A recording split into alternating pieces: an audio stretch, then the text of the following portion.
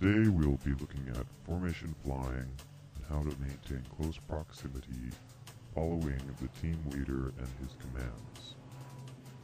These commands are given with precise accuracy as to what is demanded of the pilots following.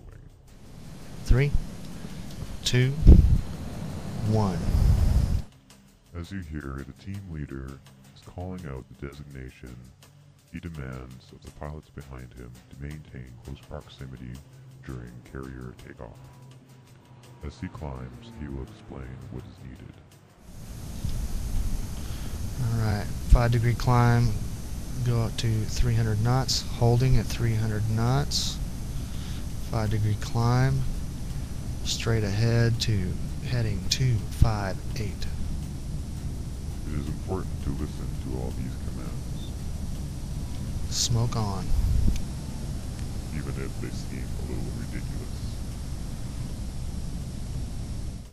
Before any of this, there is a small meeting held between the pilots to determine the appropriate course of action of what their formation is going to do 1000 feet. Hold at 600.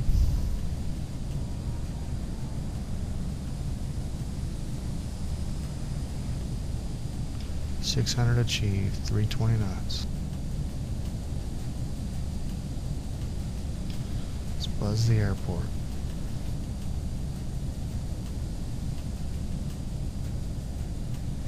As close as we can get.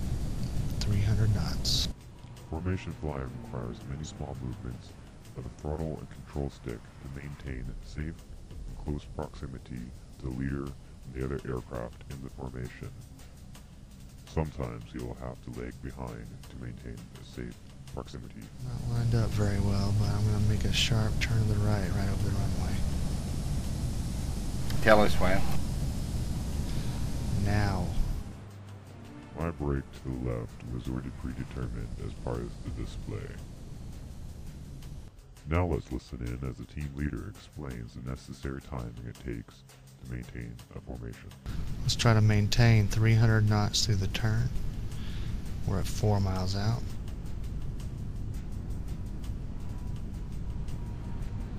Five, four, three, two, one. Turn left.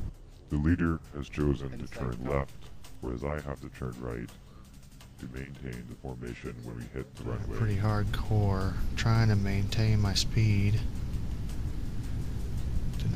very well. Going back to 300.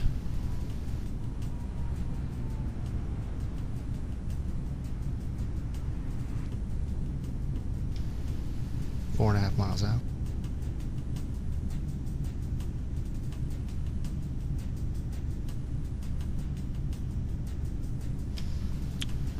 Three hundred knots, three and a half miles up.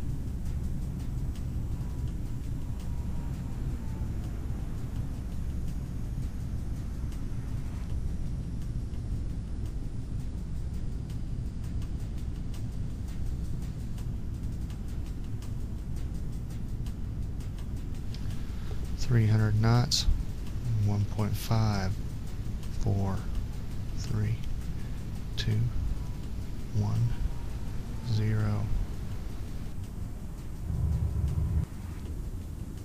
As I look over my shoulder, I notice the leader is coming into perfect formation with my cross-traffic smoke trail for the display.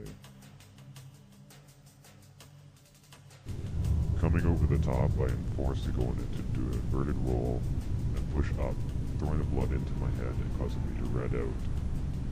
This is okay as I know that I need a certain amount of altitude and I push into it and then pull back to allow myself to see again. This concludes the basic steps it is needed to maintain formation flying and work in a display team. I hope you have enjoyed these few minutes I look forward to seeing you in the sky.